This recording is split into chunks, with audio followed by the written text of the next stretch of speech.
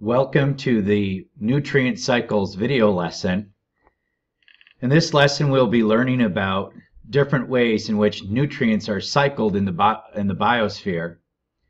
Including this will be a discussion on the water cycle, the carbon cycle, the nitrogen cycle, and the phosphorus cycle. Let's start with the water cycle. The water cycle is the constant movement of water between oceans and lakes, the atmosphere, and land. Water falls to the surface as precipitation. Surface runoff leads through streams and rivers to lakes and oceans. Some of that water seeps into the ground and becomes groundwater. Water from the lakes and oceans evaporates into the atmosphere and then condenses into clouds. Groundwater is taken up by plant roots and through a process called transpiration is released into the atmosphere. Then the cycle repeats.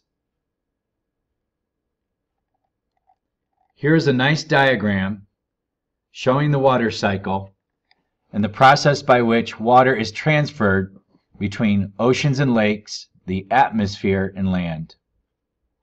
Here we have the evaporation of water from the lakes and oceans here that condenses and forms clouds. Precipitation falls back onto the surface of the earth.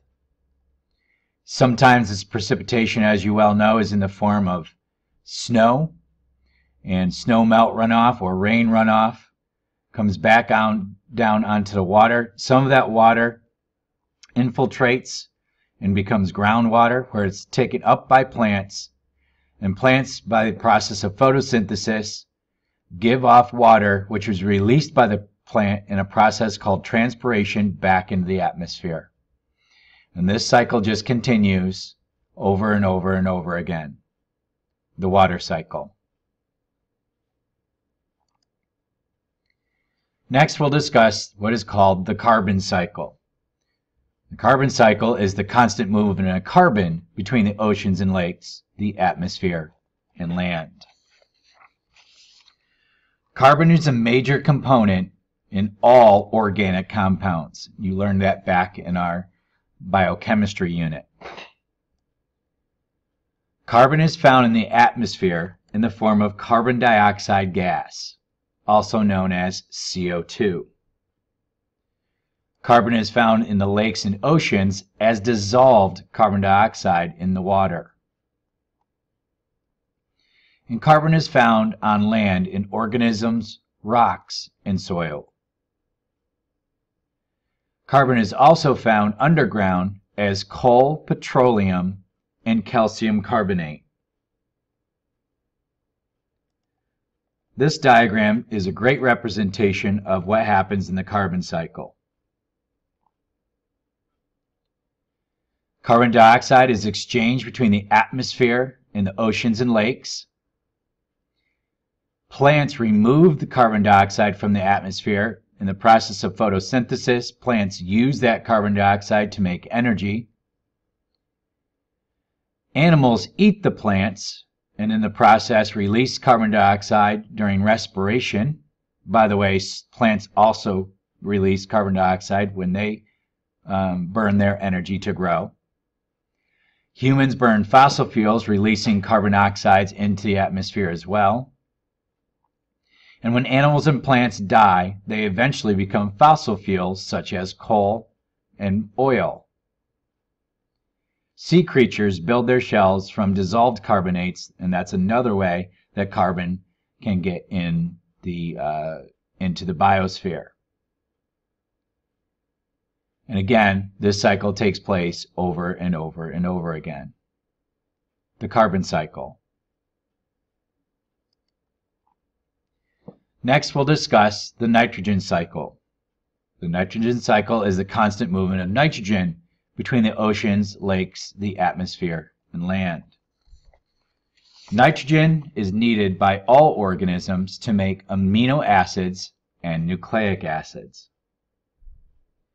nitrogen is found in the atmosphere in the form of nitrogen gas, also called N2. The atmosphere is the largest reservoir of nitrogen and makes up 78% of our atmosphere. Most students have a misconception that oxygen is the primary gas in our atmosphere because that's the one we need in order to perform respiration in our bodies and grow and develop. However, the reality is that nitrogen gas makes up 78% of our atmosphere, whereas oxygen makes up 21% of our atmosphere. So a large resource of nitrogen in our atmosphere. Nitrogen is also found in lakes and oceans as dissolved nitrogen. Nitrogen is also found in soil compounds such as ammonia, NH3, nitrate ions, NO3-, and nitrite ions, NO2-. minus.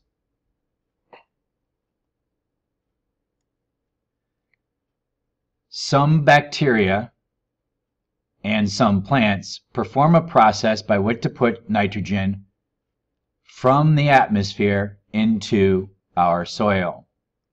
That process is called nitrogen fixation.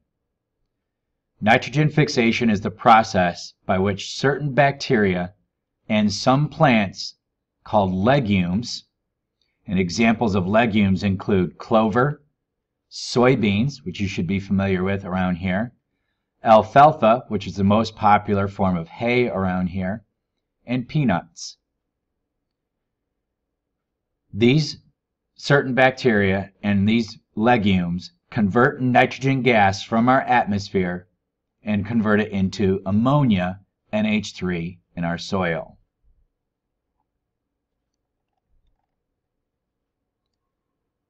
The opposite of that process is taking the nitrogen from our soil and converting it into nitrogen gas back into our atmosphere.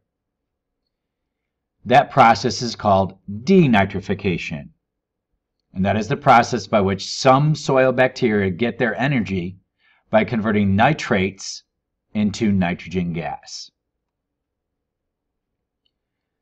Here's another nice diagram showing the nitrogen cycle. And here we have lightning, which will form nitrogen compounds when it strikes. Will form nitrogen compounds in the soil. And nitrogen gas in our atmosphere. We have nitrifying algae, denitrifying bacteria, putting nitrogen back in our atmosphere. And we have nitrogen fixing bacteria and nitrogen fixing plants that take the bacteria, I'm sorry, that take the nitrogen from our atmosphere and form it into nitrogen compounds. These nitrogen compounds in the plants are then eaten by animals, and the cycle continues over and over again, um, keeping the nitrogen cycling in our biosphere. The last nutrient cycle we're going to take a look at is the phosphorus cycle. In the phosphorus cycle, it is the constant movement of phosphorus between oceans and lakes and land. What you notice here is that unlike other nutrients, phosphorus is not found in significant quantities in the atmosphere. Phosphorus is needed by all organisms to make DNA and RNA. Phosphorus is found on land in phosphate rocks and soil minerals. Phosphorus is found in lakes and oceans as dissolved phosphate or in phosphate sediments. Rocks and sediments release phosphates as they break down. Plants then take in these phosphates and bind it into organic compounds. These organic phosphates then move through the food web to the rest of the ecosystem. The phosphate is then returned to the land or oceans when organisms excrete and or die. Here's a nice diagram showing the phosphorus cycle. And what you, again, don't see here is significant phosphorus in the atmosphere.